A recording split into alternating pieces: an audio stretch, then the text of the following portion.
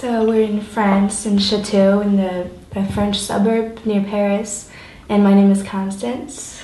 And my name is Edward. Beatrice. And I'm Jason. Well, we uh, we host refugees. I've been working with the um, Welcome Project for almost four years.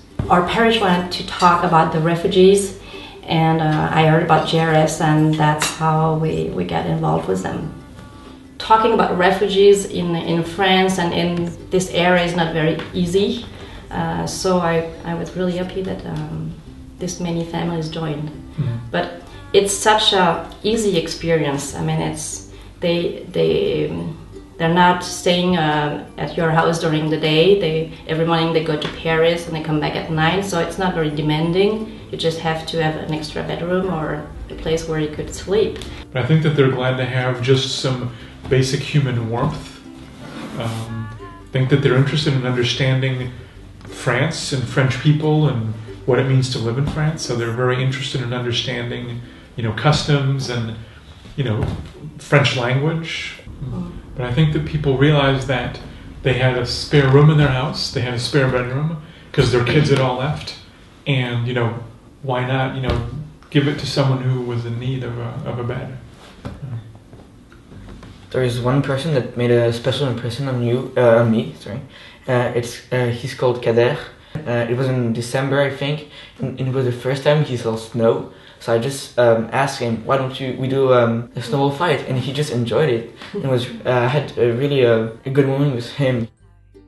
The welcome program is very flexible. Uh, you can choose whatever months you want to host the refugees or not, so it makes it very easy. Right. We're yeah, we're gonna keep uh, hosting uh, refugees. Um, it's um, it's our family plan. And it's a great, great experience. Yes.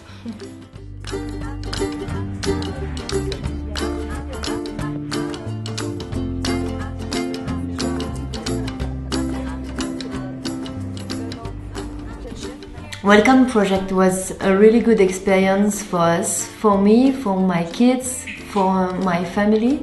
It's a, for me it's also an educative project because uh, my kids learned a lot and I, I did too. And uh, we had a discussion really interesting with Rafat. So it's a really good experience for all of us. Uh, I am uh, Rafat Al Ghanem, Syria uh, journalist. I am now in uh, Paris, uh, in Cologne. And uh, I am Caroline, I'm French, and uh, I live in Cologne. And uh, we hosted uh, Rafat for 10, da- 10 days. Yeah. My expectation was really uh, simple. It was only to meet, uh, to meet someone who need to take a breath. Something, something was really interesting uh, for me. It's to share culture, our culture. Uh, for instance, uh, he showed us Syrian dance, and my kids dances, danced with him. We share about music, about uh, literature, um, about philosophy too. It, it was uh, that's that is very important for us to, to share to share our culture. Mhm. What I really appreciate with JRS that they, they take care of families too, and they know we need to take our, our time.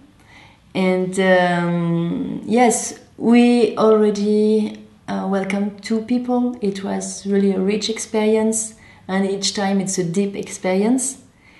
And um, we need time to welcome another one. So we are in December, and we know in January, in the middle of January, we can uh, welcome another people.